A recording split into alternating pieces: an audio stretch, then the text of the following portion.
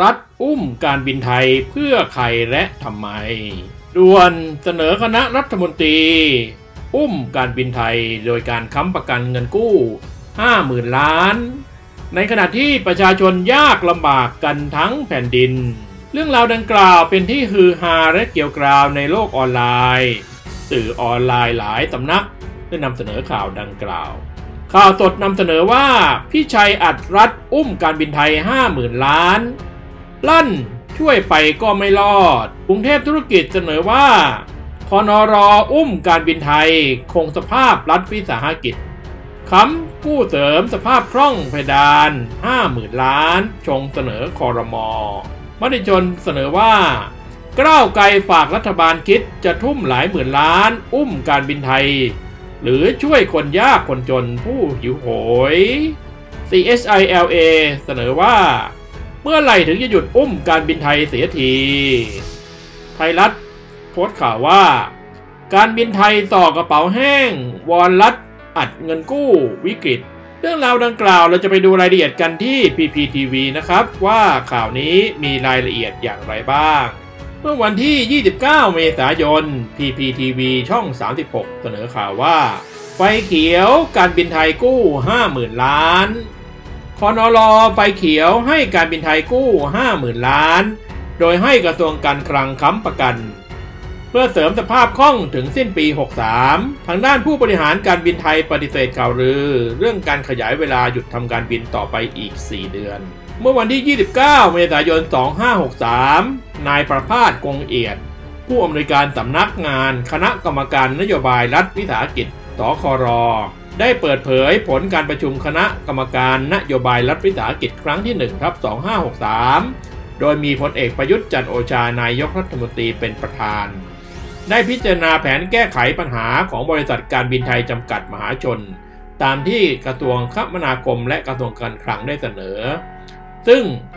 คอนอรอเห็นด้วยในหลักการของแผนดังกล่าวที่จะช่วยแก้ไขปัญหา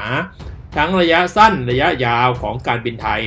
ภายใต้สถานการณ์ปัจจุบัน เพื่อให้สามารถสนับสนุนยุทธศาสตร์การท่องเที่ยว การค้า การลงทุนของประเทศได้อย่างยั่งยืน และมอบหมายให้กระทรวงคมนาคมนำเสนอคณะรัฐมนตรีพิจารณาต่อไป ทั้งนี้มีรายงานข่าวว่าคอนรอเห็นชอบให้กระทรวงการคลังเข้าไปช่วยค้ำประกันเงินกู้ให้การบินไทยวงเงิน 50,000 ล้าน เพื่อเสริมสภาพคล่องระยะสั้นให้กับบริษัทถึงสิ้นปี 63 ซึ่งน้อยกว่าแผนเดิมที่ขอมา 70,000 ล้าน เพราะจะให้การบินไทยไปเร่งเจรจาปรับโครงสร้างหนี้กับเจ้าหนี้ในประเทศ เช่น ธนาคารกรุงไทย ธนาคารออมสิน และเจ้าหนี้ต่างประเทศ รวมถึงให้การบินไทยทำแผนปรับลดค่าใช้จ่ายลง ซึ่งจะช่วยให้เงิน 50,000 ล้านใช้เพียงพอ โดยจะแบ่งการกู้ ได้ภายในเดือนพฤษภาคมนี้ หลังจากเรื่องผ่านมติคณะรัฐมนตรี อย่างไรก็ดีการค้ำประกันเงินกู้จะทยอยปล่อยกู้ออกมาใช้ตามระยะที่แผนฟื้นฟูกำหนด ไม่ได้กู้ออกมาก้อนใหญ่ก้อนเดียว เพื่อกระตุ้นให้การบินไทยเร่งปรับตัวตามแผน รวมทั้งจะมีการปรับโครงสร้างการกำกับดูแลการบินไทย และคณะกรรมการการบินไทย ให้อยู่ในกลุ่มรัฐวิสาหกิจประเภท 3 แทนเดิมที่อยู่ประเภท 2 ซึ่งจะยกเว้นระเบียบบางอย่างทำให้เกิดความคล่องตัว โดยเฉพาะการคัดเลือกบุคลากรที่มีคุณภาพมาช่วยบริหาร ให้การบินไทยอยู่รอดได้ ขณะที่คณะกรรมการบริษัทการบินไทยจำกัดมหาชนได้มีการประชุมนัดพิเศษ เพื่อรองรับมติคอนรอดังกล่าว โดยทางฝั่งผู้บริหารการบินไทยยังไม่เปิดเผยรายละเอียดใด ๆ ทางด้านนายสรเดชนามเรืองศรีรองผู้อำนวยการใหญ่ฝ่ายปฏิบัติการและรักษาการรองผู้อำนวยการใหญ่ฝ่ายกลยุทธ์องการ และพัฒนาอย่างยั่งยืนบริษัทการบินไทยจำกัดมหาชน กล่าวถึงกระแสข่าวทางโซเชียลมีเดียเรื่องการบินไทย ขยายเวลาหยุดทำการบินต่อไปอีก 4 เดือนว่าไม่เป็นความจริง เป็นที่ทราบกันดีอยู่แล้วว่าขณะนี้มีการแพร่ระบาดของไวรัสโควิด -19 กระทบไปทั่วภูมิภาค และมีหลายประเทศที่มีมาตรการปิดประเทศวงเล็บล็อกดาวน์ ประกอบกับรัฐบาลประกาศพระราชกำหนดบริหารราชการในสถานการณ์ฉุกเฉิน 2548 และสำนักงงานการบินข้าราชการพลเรือน กทพ มีคำสั่งขยายเวลาห้ามอากาศยานขับส่งผู้โดยสารทำการบินเข้ามาในท่าอากาศยานประเทศไทยเป็นการชั่วคราว ทั้งนี้จนถึงวันที่ 31 พฤษภาคม 2563 ยังไม่มีข้อยุติถึงปริมาณผู้โดยสารที่เข้ามาเดินทางในประเทศ ทั้งนี้บริษัทมีความพร้อมที่จะกลับมาให้บริการในเส้นทางระหว่างประเทศอีกครั้งทันที หลังสถานการณ์คลี่คลาย และไม่ได้ประกาศหยุดการบินต่อไปอีก 4 เดือนตามที่เป็นข่าว โดยบริษัทยังคงยึดทำการบินให้บริการขนส่ง และผลผลิตการเกษตร เพื่อช่วยเหลือเกษตรกรไทย เป็นข่าวที่เหยียดยาว แต่โดยสาระก็บอกเพียงแต่ว่ารัฐบาลจะค้ำประกันเงินกู้ให้อีก 50,000 จากที่ขอมา 70,000 ล้านคำถามที่ตามมาคือ รู้แน่ๆว่าขาดทุน รู้แน่ๆว่าอาจจะไปไม่รอดอีก รัฐบาลทำไมยังดันทุลัง เรื่องราวดังกล่าวรองศาสตราจารย์ ดรปวินชัชวานพงพันธ์แห่งมหาวิทยาลัยเกียวโต ได้โพสต์ เมื่อ 12 ชั่วโมงที่แล้วใจความว่า การบินไทยเป็นสายการบินของเจ้ามันเจ๊งไม่ได้ ต่อให้ขัดทุนชิบหายวายป่วงก็ต้องอุ้ม เพราะไม่อย่างนั้นเจ้าไทยจะไปพึ่งพาสายการบินอื่น เวลาเดินทางมันไม่สะดวก มันสั่งการอะไรไม่ได้ แต่ถ้าเป็นการบินไทยใครจะเป็นเมื่อไหร่รับคนไหน จะเหมาหมดวันไหนจะถีบผู้โดยสารคนไหนออกบอกได้ ต่อให้มีล็อกดาวน์โควิดกูก็บินได้ เพราะมันคือสายการบินของเจ้า ตั้งแต่ย้ายมาอยู่มิวนิกสำนักงานต่างๆ ต้องมาเปิดรองมือรองตีน เจ้า ถามว่าเส้นทางกรุงเทพมิวนิกจำเป็นไหม ไม่เลย เพราะเรามีบินแฟรงก์เฟิร์ตอยู่แล้ว แต่เจ้าเราอยู่มิวนิกจึงต้องเก็บเที่ยวบินนี้ไว้ ไม่ให้สถานกงสุลที่มิวนิกและคงต้องอำนวยความสะดวกแก่ต่างแก่เจ้า โดยเฉพาะอย่างยิ่งการขออนุญาตบินเข้าน่านฟ้า ประเทศต่างๆ ในยุโรป ที่ต้องขอเป็นประจำเพราะ เจ้าแม่งบินบ่อย เรามีชื่อสถานทูตที่เบอร์ลิน และสถานกงสุลที่แฟรงก์เฟิร์ตอยู่แล้ว ไม่จำเป็นต้องเปิดที่มิวนิกแต่อย่างว่าถ้าเจ้าจะเอาก็ต้องเอา เปิดสถานกองสุลให้เงินเท่าไหร่ ไม่รวมว่าต้องมีข้าราชการประจำอยู่ที่นั่น ขนาดอังกฤษประเทศที่มีคนไทยอยู่มาก ยังมีที่ทำการทางการทูตแห่งเดียวที่ลอนดอน เยอรมันถึงมี 3 ที่ ฝรั่งเศสก็มีเพียงที่เดียวที่ปารีสการบินไทยมันถึงได้ใจ เพราะเจ้าอุ้มมัน พนักงานจึงเป็นนักสิมที่เหม็นเน่าเอาละจะพูดว่าเหมารวมมันก็ไม่ถูกพนักงานดีก็มี แต่ในภาพรวมคนทำงานการบินไทยต้องคิดว่าตัวเองสูงส่งทำงานอยู่บนฟ้า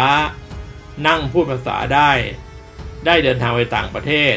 มีช่วงหนึ่งเคยมีคนด่ามาก โดยเฉพาะกรณีการดูถูกผู้โดยสารอย่างอีเย็น ผู้โดยสารที่ไปขายแรงงานอีแอร์ดอกพวกนี้ ชอบดูถูกมันว่าเป็นสาวเสิร์ฟหรือยังไงใส่โรเล็ก มันเอากาแฟกับชามาเสิร์ฟ อีเย็นขอน้ำร้อน มังตอกหน้าอีเย็นวันดิฉันมีแค่สองมือนะคะ อีหาลาก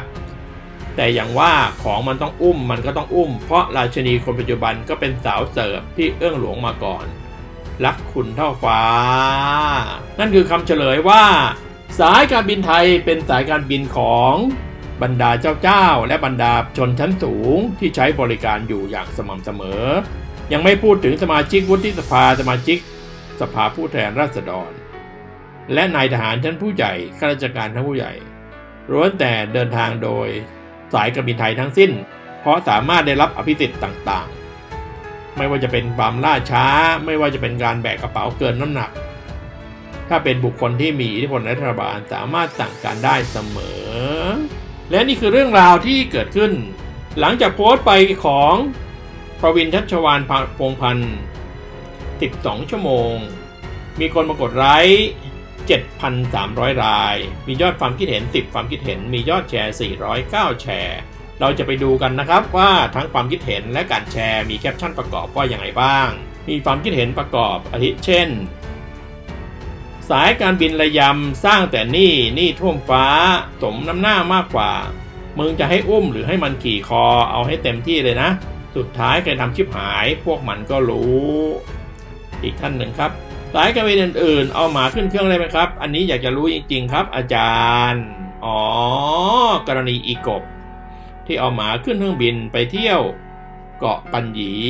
ไปเที่ยวที่ภูเก็ตวันก่อน มีอีกท่านหนึ่งแชร์ไปความเห็นว่า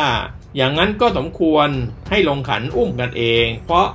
กลุ่มที่ได้ผลประโยชน์จากสายการบินไทย จะเอาภาษีประชาชนคนจนๆไปอุ้มทำไมในเมื่อมันไม่ธุระของประชาชน ใครอยากนั่งฟรีก็ให้อุ้มกันเองสิ อย่ามาให้ประชาชนเดือดร้อน เอาภาษีมาช่วยเหลือประชาชนก่อน ประชาชนจะตายกันหมดอยู่แล้วแฮชแท็กรัฐบาลเฮงซวยแฮชแท็กรัฐบาลห่วยแตกแฮชแท็กปรสิต สไตล์ อีกท่านหนึ่งบอกว่า ถ้าจะต้องเสียตัวฟ้าต้องได้เป็นแอร์มีคนมาให้มาเห็นว่า เป็นแอร์อยู่ดีๆก็ไปเป็นทหาร แล้วก็ได้เป็น queen เฉยเลย นี่นะครับ only in Thailand มีท่านหนึ่งบอกว่า เจ้ากับรัฐกับนายทุน และอำนาจผูกขาดผูดกันได้ยังไง ดูตรงนี้เลยหนึ่งในหลายพันตัวอย่าง เพราะมันเกื้อหนุนกันครับ เจ้ามันถือว่ามันมีสกุลมีอำนาจ ขณะที่นายทุนถือว่ามีเงินที่จะโดนบันดาลได้ทุกสิ่ง นอกจากนั้นในส่วนของคลิปเรื่องของเรื่องเศร้าที่เชียงใหม่กับการอุ้มการบินไทย ก็ได้มีผู้มาแสดงความคิดเห็นอาทิเช่น ไอคอนคิดอุ้มการบินไทย ให้ไปเอาสมบัติของตระกูลมาอุ้มนะ หรือจะให้เด็กป .4 มาบริหารแทนไอ้พวกสมองหมา อีกท่านหนึ่งนะครับ กู้เงินมาอุ้มการบินไทย คนใช้ดอกเบี้ยคือพวกกู แต่พวกกูไม่เคยได้นั่งการบินไทยเลย ไอเวนวายราคาตั๋วแพงชิบหายอันต่อไปครับ ผมอยู่ใกล้ๆกับวัดโลกโมลีเห็นคนมารอรับบริจาคเยอะมากๆครับ เห็นแล้วหดหูจัง เป็นคลิปที่แล้วนะครับที่ลงเรื่องของ การแจกอาหารแจกข้าวที่เชียงใหม่ที่เป็นเรื่องน่าเศร้า อยู่ในวัดรัฐโมลีและวัดเจดีหลวงที่ร่วมทำโรงทาน คนเชียงใหม่เป็นพันๆคนนะครับ ที่ไปรอรับอาหารแจกแบบนี้ ท่านต่อไปครับ ยิ่งดูยิ่งหดหู่ประเทศไทยไม่เคยมีแบบนี้ ถ้าไม่ใช่รัฐบาลกากาแบบนี้ สภาพแบบนี้คงไม่มีให้เห็นแน่ๆ อีกท่านหนึ่งครับรัฐเอาภาษีประชาชนไปลงทุนให้การบินไทย บริหารยังไงก็ขาดทุน ขาดทุนทุกปีมึงยังคิดยุอุ้มต่อเพื่ออะไร ประชาชนต้องเป็นท่าหาเงินมาจ่ายภาษีเลี้ยงพนักงานการบินไทยอย่างนั้นหรือ เอาไปขายเถอะจะได้เอาเงินมาช่วยประชาชน แน่นอนล่ะครับ การบินไทยมีไว้บริการใคร มีไว้ให้ใครสามารถ ส่งแมวมองเข้าไปดูแอร์สาวๆสวยๆได้ เส้นทางนี้สมเด็จพระราชินีตุทิดานามสกุลชื่อและเก่าก็คือนามสกุลตุทิดาติดใจ ใช้เส้นทางนี้มาแล้วท่านต่อไปนะครับ ความจริงการแจกอาหารควรเป็นหน้าที่ของรัฐบาล แต่มึงไปอุ้มสายการบินนกหวีดก่อนแจกอาหารอีก มึงเห็นสายการบินผูกๆสำคัญกว่าประชาชน ผู้คนอดอยากมากมาย รัฐบาลเฮงซวย หรือว่าแค่เป็นคนมึงยังเป็นไม่ได้ท่านต่อไปครับ ประเทศมาถึงจุดนี้เพราะนกหวีดแท้ๆตอนนี้มันยังโง่อยู่ ที่บอกว่าชนชั้นกลางนั่นแหละโง่ แต่ตัวเองอวดว่าเป็นผู้ดี ตุยตุยตุยตุยท่านต่อไปครับ รัฐบาลฝึกงานฝึกมา 5 ปี ไม่เคยผ่านงานมีแต่คนหน้าด้านไร้สมอง ให้โอกาสฝึกต่อไปเรื่อยๆ จนบริษัทประเทศจะชิบหายกันหมดอยู่แล้ว อีกท่านหนึ่งครับ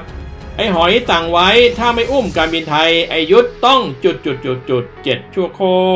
ตรท่านต่อไปครับ ปล่อยการบินไทยเจ๊งไม่ได้ เพราะเป็นแหล่งหาแดกของเจ้ามาใช้นาน แถมบินฟรีไม่จำกัด เวลาไอ้หอย